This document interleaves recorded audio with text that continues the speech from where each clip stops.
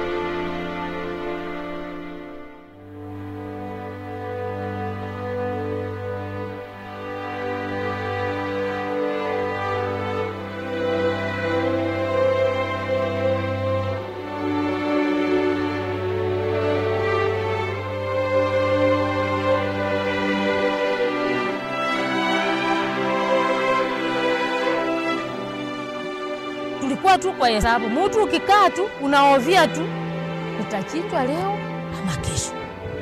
Yaani maisha tulikuwa tumewachia Mungu. Imagine a place where children are not allowed to cry. Imagine a place where men are not allowed to sleep in their own houses. Wazee walikuwa wamefukuzwa, ilikuwa imefika mahali wanasema mzee hawezi lala kwa nyumba, wapike kati nje. Sisi hatuwezi lala msituni na nyinyi mnalala kwa nyumba. Imagine a place where women are forcibly assigned husbands. Kwa upande wangu sijaripiwa, bali nilipewa tu Bwana, nilipewa lakini sikuripiwa. Imagine a place where people who talk too much have their lips sealed with a padlock. A place where those who defy orders have their ears cut off. Imagine a place where mothers are forced to watch as their 12 year old daughters are raped. Sasa mwenye alikuwa kwa mlango amesimama tu hivi mguu, na mtoto akataka kupitia kwa miguu yake ila atoroke, na mimi wamenisimamisha pale nje. Huyo vile mtoto anaingiza tu kichwa hivi akafinya hivi, na mtoto anaanguka chini. Kuanguka chini, na mmoja akasema, haya kasi ile iko toa huyo mtoto, amevaa suruali, toeni yeye.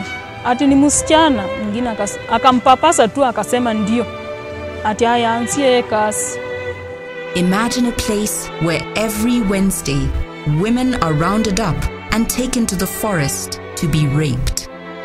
A place where death can come in the twinkling of an eye. nikaona kisu, alafu wakamaliza kuchinja, kumaliza wakichinja mtu alikuwa damu. Yet this is no place in the imagination. Until 10th March 2008, this place was Mount Elgon District, a place in the grip of such terror that even animals were not spared.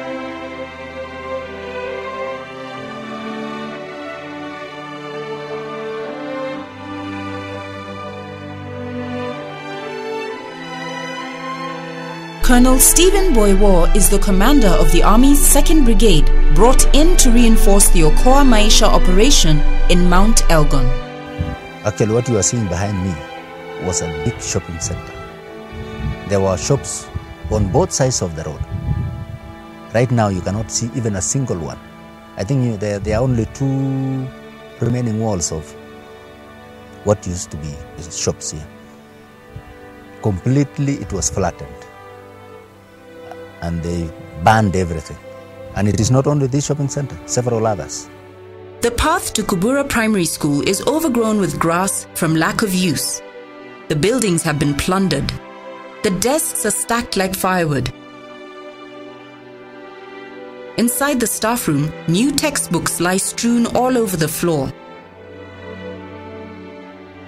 unpleasant history has been erased.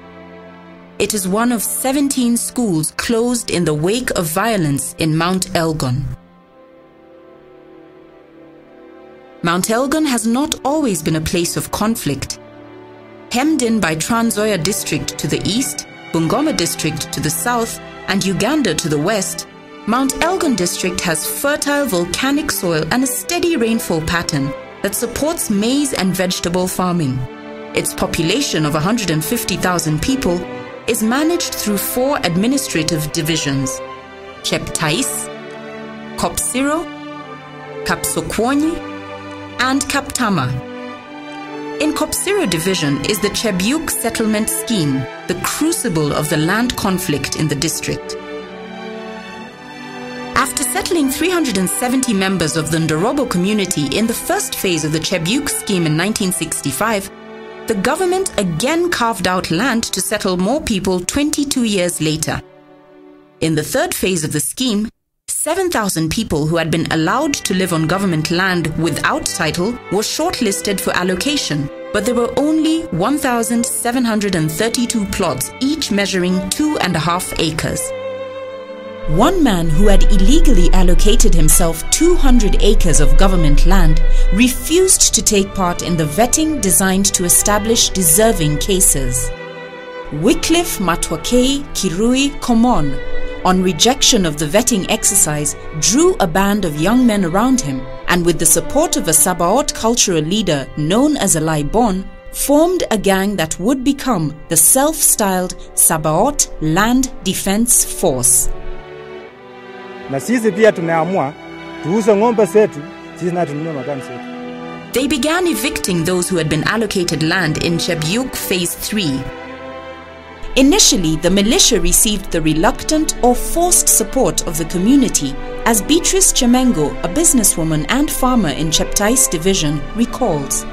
Eneo mwanzo walikuwa wanatetea mashamba, lakini wakafika mahali eh, wakakosa mwelekeo, wakaachana na mambo ya mashamba na wakaanza mambo ya unyang'anyi, mambo ya uuaji, mpaka hata tukashindwa sasa, hii ni kutetea shamba ama ni, wizi na uuaji? Kwa sababu walifika mahali kabisa, sasa wakaingilia bibi na bwana wakigombana kwa nyumba, hao ndio wanafanya hiyo kesi. Jirani mkisumbuana kwa mpaka wa shamba, sasa ni hao. Men were forcibly recruited into the militia. Kelvin Jeffrey Chepkurui, Fred Jumba alias Mwala, Raphael Ndiema Chemia were all forcibly conscripted into the militia. Many others were kidnapped and conscripted into Matakwei's rapidly growing gang of unwilling but terrified soldiers. Slowly, an oppressive air began to descend on the entire district as Matakwei tightened his grip on the force. The men are believed to have taken an oath administered by the Laibon. I think all things must have taken place. But I did not see it.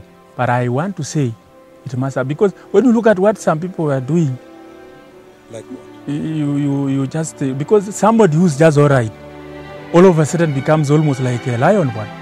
Nafikiri vijana hawa kwa sababu ya hii mtu anaitwa Laibon ni kama aliwapatia dawa ambayo walikula kiapu na ikawaleweza, so walikuwa wajali chochote, kwa sababu awe mama yake awe baba yake anamuona, awe mama yake anaweza kumajizi, na imefanyika hivyo.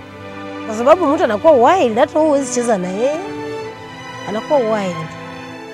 The effect of the oath did not escape the keen eye of Salome Chepkirui Ndiwa Matwakei. kwa sababu kwa hakika hii mzee amewalisha watoto kiapo ambaye hata haistahili katika dunia hii, kwa sababu ungeona mtu angekuchinja bila kushutuka. Hata mimi nilipikwa na bwana yangu mpaka akanifunja na haja hai nipika tangu tuone, lakini juzi alinipiga nusu ya kifo mpaka mkono kukafanya nini, kukafunjika. Hapo nikawasa hata hapo ndio nilijua kwamba Wycliffe Matwakei maisha yake hayatakuwa marefu, kwa ajili sasa pengine ni mwenda simu, sio Wycliffe wa kawaida. Police spokesman Eric Kiraithe believes that however genuine their grievances might have been, Matwake and his gang chose a path fraught with peril and they were doomed to fail. the people of Mount Elgon now have seen what happens when people attempt to solve otherwise legitimate grievances. The grievances on the land, we are very sure, are legitimate. The, the nucleus is an attempt to solve legitimate grievances using illegitimate means. By March 29, 2007, some 45,720 people had been displaced and another 94 killed in the violence. Residents of the three locations had been turned from proud farmers and workers into exiles who depended on relief food, not knowing what daybreak or nightfall would bring. On April 23, 2007, six men were flushed out of their houses, their hands tied with ropes, stood in the middle of the Kinyoro Kisawai Road in Trans district, and shot dead. Twelve days later, another nine people who had fled Mount Elgon were shot dead in Matisi in neighboring Trans district. Matwake's group hunted them down. After taking the oath, no one was allowed to quit the force. A special team of police officers was sent to the area, but the residents had already been terrified into silence. On May 31, 2007, two General Service Unit officers were killed as they investigated leaflets warning of trouble on Madaraka Day. The militia had started to slowly cut off the flow of information, as Evelyn Chamachep Karam remembers. Mimi ni jirani na askari ya kambi, lakini ilikuwa uwezi enda kwa askari hata ukasema neno ama askari akuja kama mimi nakamua ng'ombe ati akuja anue maziwa kwangu. Siku hiyo uwezi lala, utachinjwa. Faith Chepkwony's husband was kidnapped and taken to the forest. Msango alichukuliwa last year mwezi wa nane tarehe ishirini na akaenda akakaishwa siku mbili ndio akachinjwa. Ah, hao wazee ambao walikuwa watu tano, watu kumi na mbili, ah, hao walionekana, lakini kijana yangu mpaka sasa hajaonekana. Soon, the local government officials were cut off the much needed flow of critical information that could have assisted law enforcement officials combat the menace caused by Matoke's ruthless gang. Peter Keen Kiboy, the acting chief of Kapkaten, testifies. Administration wakati wakati hao walikuwa wanatafuta watu kuua, hatukuwa spared. Sisi pia walikuwa najua sisi ndio the source of the information kwa government, wakaona kwamba hata sisi pia tutimuliwe, sababu tulitishwa wengi kabisa, hata mpaka sasa chiefs wengi bado wana reside from outside the locations, kwa sababu pia walitishwa na wakaambiwa hatutaki watu ya serikali hapa. Kiboy was present when the chief of Kapkaten location was killed on October 26, 2007. so ikaonekana chief amekufa.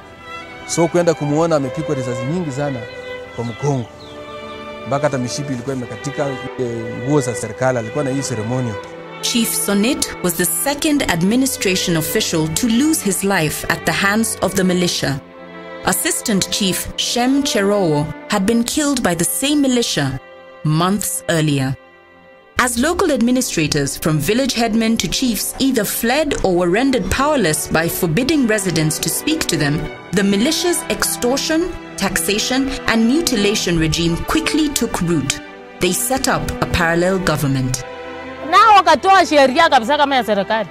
Kulikuweko na machairmans wenye walikuwa wanasimamia hiyo gang. The militia became so brazen that they would roam the villages in broad daylight, demanding taxes and taking away defaulters and other perceived transgressors. I witnessed this one teacher that uh, was kidnapped, and as we are talking right now, he's nowhere to be seen. We don't know whether he's dead or what. We constructed a bridge here, just a, a makeshift bridge. And then they confused that we, had, we were making the bridge to make the security come in so fast. And so we were supposed to have, to have even been fined. So for all that time, we have been very uneasy with them. Kangaroo courts were set up in the forest to try all sorts of cases. They gave their verdicts. Now Beatrice Chemengo gives hers. So unajua anayetoa uamuzi wa huko si, si justice mwenye amesomea sheria. So nana, ilikuwa ni unyama, Mm, ni dhuluma kabisa. Irene Kaboy's ear was cut off by her own nephew. Alice Chemos Yongok also lost her ear. Alafu mwingine akasema usijinji chinja masikio. Benjamin Niuno Tachoni too knew the experience firsthand. na alikata kwa sababu nilikataa kutoa ile registration fee, yani ile pesa walikuwa nahitaji ya shilingi mia mbili. In Kapkaten location alone, 23 people have reported having their ears cut off for allegedly being drunk, lateness in remitting their taxes, or leaving their homes for unknown destinations. More chilling summons were issued and frightful forest trials held. Unspeakable crimes were committed. Every Wednesday, women would be rounded up and taken to the mountain. Some never returned. The survivors deserve privacy and protection. Faith Chepkwanyi spotlights the horror of what used to happen. hata chief hakuwa na say, assistant chief hakuwa na say. Sasa kitu kilioko walikuwa tu wanakuja, ikiwa ni mimi sasa, mi nimekupenda na kuambia tu leo, na ni hapo. Hata saa zingine hawakuwa wanaenda na wengine huko juu, kwa sababu wale walikuwa wanaenda huko juu, maybe kama walikuwa wanarepiwa, wanarepiwa na kuchinjwa hawa wapo wanarudi, lakini sasa wale kuna wale walikuwa wanafanyika tu vituko kama hivyo, lakini wakiwa tuko maboma zao. Jane, whose identity has been altered in this documentary, was attacked, robbed, threatened with rape, and ultimately forced to watch helplessly as her 12 year old was defiled by the militia. Nikanyamaza nikasema simunisamee jameni, ati toa nguo, toa nguo na ulale chini.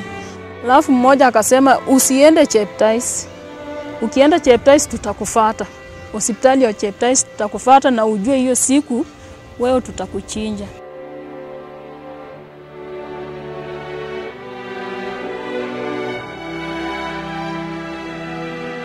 On December 31st, 2007, at around 2 o'clock in the afternoon, Evelyn Chemachep Karam, who lives on the edge of the Mount Elgon forest in Kimama, saw her neighbors being marched into the forest.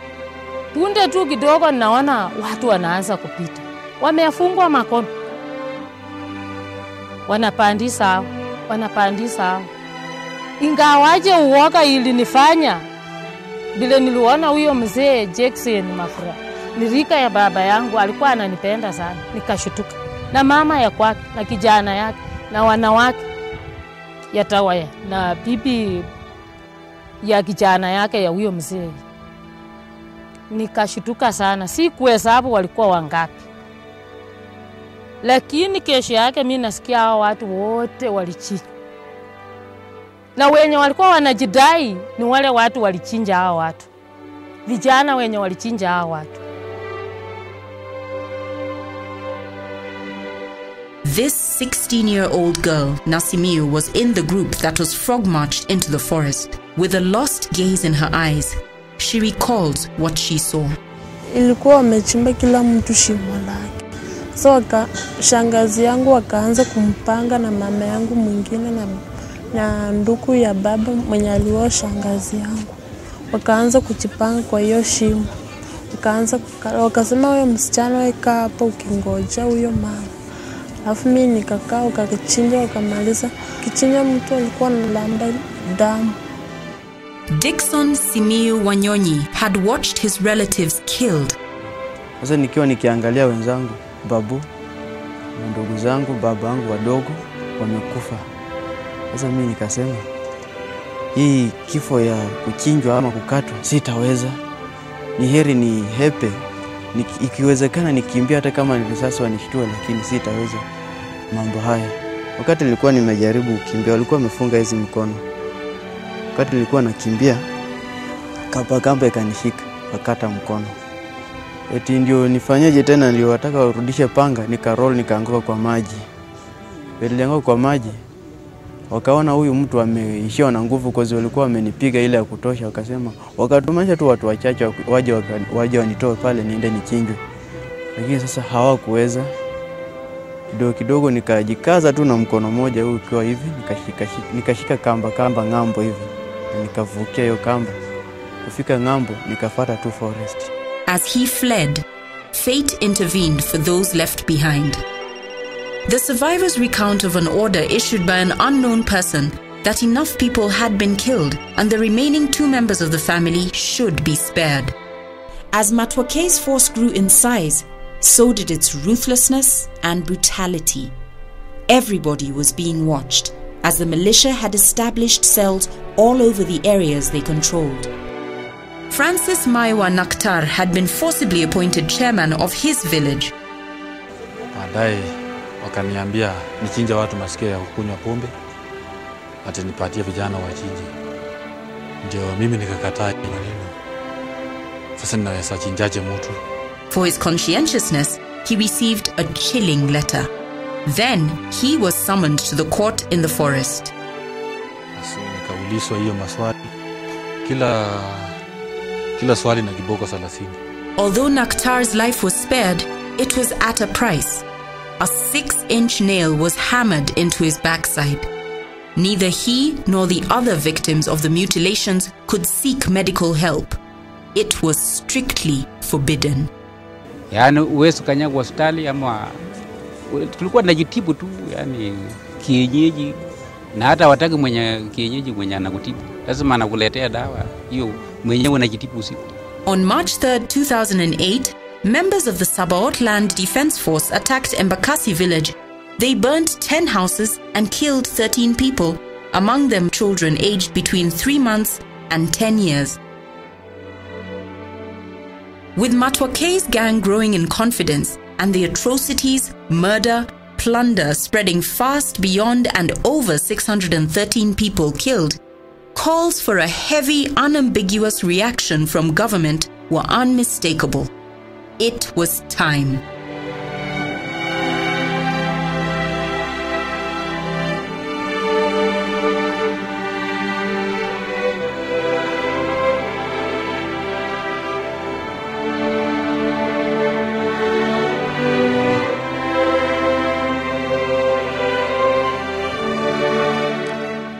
The Commissioner of Police is the principal internal security agent to speak. But he has all these resources through the proper government procedures to gain recourse to ask for assistance from the military, to ask for enforcement. On March 10, 2008, a joint operation force comprising the Army, the General Service Unit, and the Administration Police arrived in Mount Elgon, a forested terrain with shocking logistical challenges. Colonel Stephen Boywa, 2nd Brigade Commander, led the Army's reinforcement for the operation. Um, our first targets were the caves. There was a cave in the forest. We knew they were training and a training camp called Kamasat and Jeburbur Cave. Those are our first targets. The operation has had its challenges. Colonel Boywa candidly acknowledges some of them. They got wind that we were coming. And so, where we expected to find them, we never found them. They had moved deeper into the forest. And those in the villages have moved to adjacent villages. Although fear had ruled the lives of the residents for a long time, the joint force is fast winning public confidence. I would say terror. Uh, the repercussions or, or the, the, what they used to do to those people they suspect were giving away information was, I, don't, I can say, terrible. Uh, they killed, they chopped ears, um, they tortured, and they even raped. They do all sorts of things, things you cannot believe.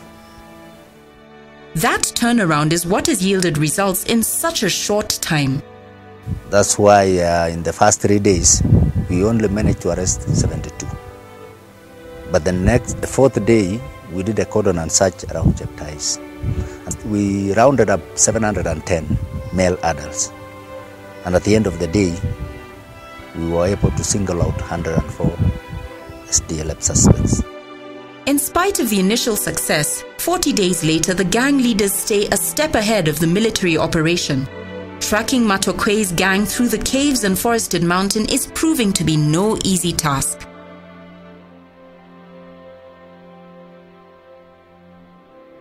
But two months after the start of the joint operation, Wycliffe Komon Matakwei is cornered and killed deep inside Mount Elgon Forest as he engaged with the Joint Operation Force in a shootout. Kweli niliidentify ya kwamba yeye ni Wycliffe Matoke kwa sababu ya alama yake aliyokuwa naye kichwani. Hata Only three days before his death, his widow had unsuccessfully appealed to him to surrender. nikimwomba tu kwa roho ya unyenyekevu ya kwamba ni sharti ujisalamishe kwa jeshi iliyopo, kwa sababu nimeona hata maisha ya msituni hautaiweza. Cheptais was chock-a-block with people who flocked the center to confirm that indeed the man whose name could only be mentioned in whispers, Wycliffe Matwake, had been killed.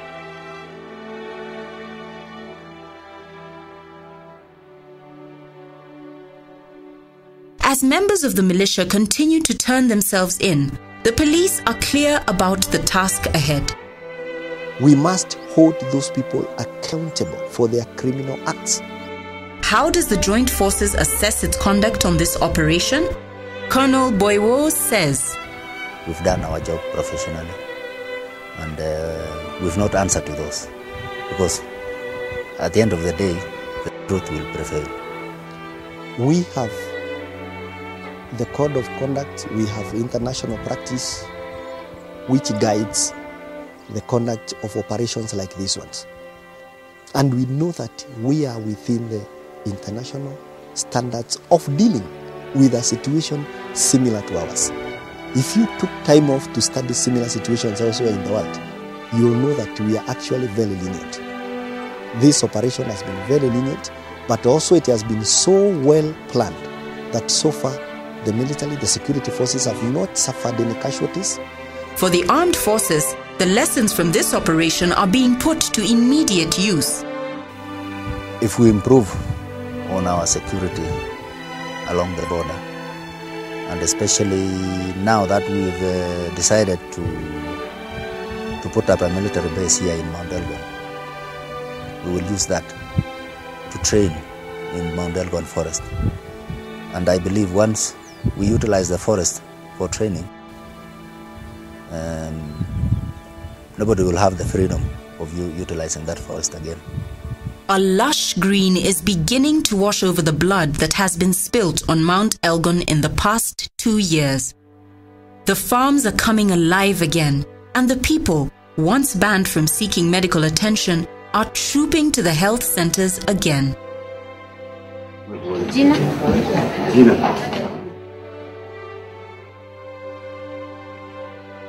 Major Dr. Michael Wakaba has been heading the medical aid team in the Mount Elgon area.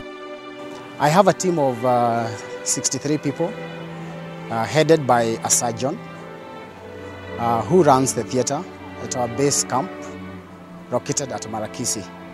Uh, the diseases differ among the various people.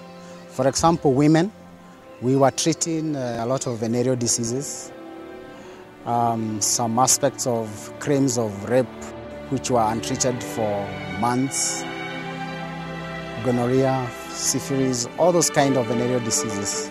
Besides restoring security and health, the military has also embarked on several missions of mercy.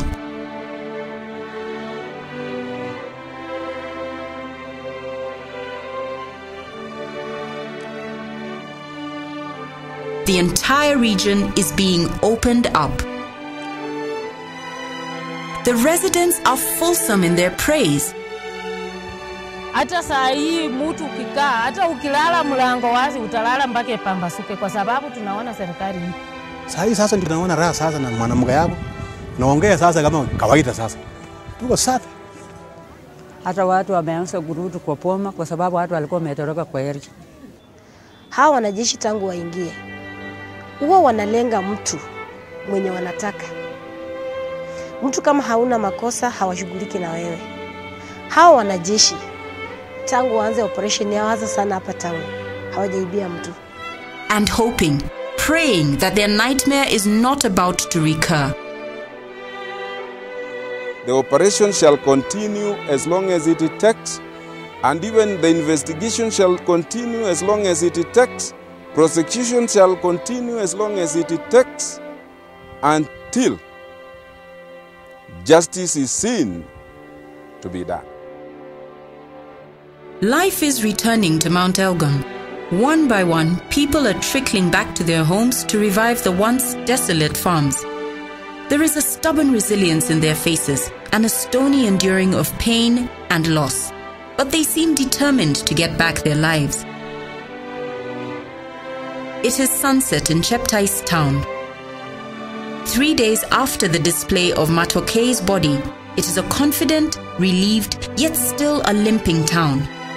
The residents of Cheptais close the day heading to sleep at the foot of Kenya's second highest mountain, an impressive extinct volcanic mountain whose last unnatural eruption has gone quiet, but left in its wake chilling scars and pain that the residents have silently borne for the last 18 months.